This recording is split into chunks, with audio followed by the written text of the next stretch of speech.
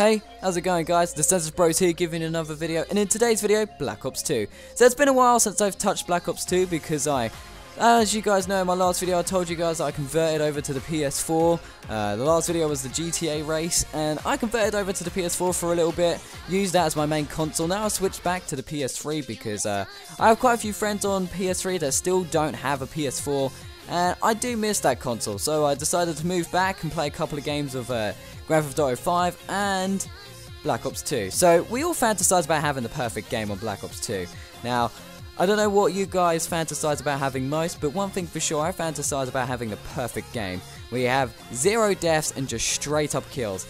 Now, I don't know about you, but I went absolutely beast mode. I don't know what you call it, maybe uh, there'll be an angry comment every now and again, but uh, I did pretty well in this game. Um, most of it is pretty campy. I did more of a stealthy approach instead of full out guns blazing, which is what I normally do. This one I did more of a layback type of uh, match. Instead of going guns blazing and trying to kill everybody, I wanted to take more of a tactical approach and let the enemy come towards me. I thought that was more of a smarter move because not only was this the best game of my night, this one was only the third to fourth game that I played of uh, Black Ops uh, 2 after I came on, after I played uh, the PS4.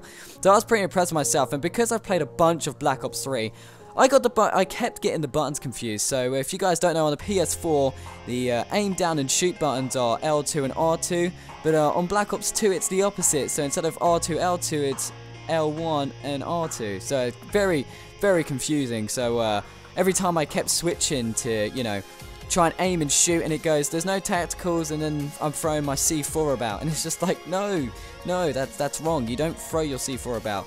So. Uh, as you guys know, I'm one of those people that when you hype me up too much, I kind of get a bit flustered and I don't know what to do. So uh, I was trying to keep my cool here and my friends uh, kept uh, bugging me and kept saying, you're gonna die, you're gonna die. So that's a shout out to my friend PJ and a shout out to my friend Khan. Uh, they kept like hustling me saying I was gonna die. Every two seconds, you're gonna die, bro, you're gonna die. I was like, nah, mate, mate, I'm God, I ain't gonna die. Nah.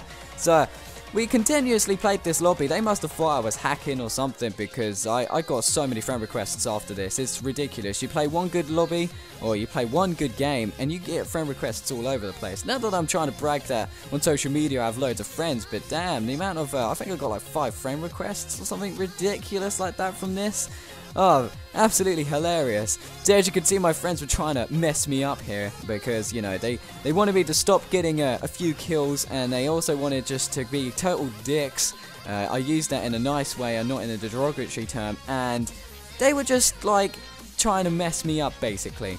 So I did go back into theater mode because this game is a, a few days, if not a, about a week old. I'd say uh, I'd say it's still a few days. But uh, one thing's for sure though, I had to go into theatre mode to record it because I wasn't recording at the time, I had other stuff to do. And now that I recorded it, I'm really glad that uh, theatre mode actually exists because I would have been absolutely screwed if I didn't record this. And it's just amazing to finally have that one perfect game. Uh, I've never once had this much of a perfect game where I've had just straight up kills and zero deaths.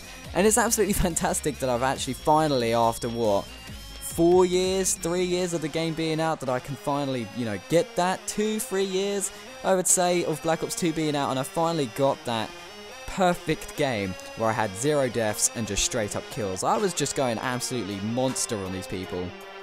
So, if you guys want some tips on how to be uh, proud to play a little bit better, now that Call of Duty Black Ops 2 isn't as filled with as much uh, you know, try hards and sweaters now. I suppose uh, you could do more of what I'm doing, more of a tactical approach to, you know, let the enemies come to you.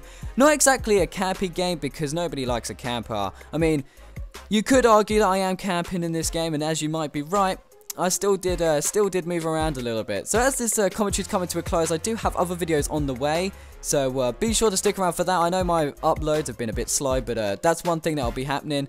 And uh, yeah, so I hope you guys did enjoy the visual stuff again. Uh, it took me a little while to do it, but I finally remembered the type of style and you know unique turns that I had to do. So uh, as this vid commentary is coming to a close, I hope you guys are having a good December. And as the hype gets absolutely unbelievably real for Christmas, so I hope you guys did enjoy this video. If you did, please give a like, rating, comment, and subscribe. And I'll see you bros in the next video. Likes and donations. I was known as Senseless Bros. Out. See you guys in the next video.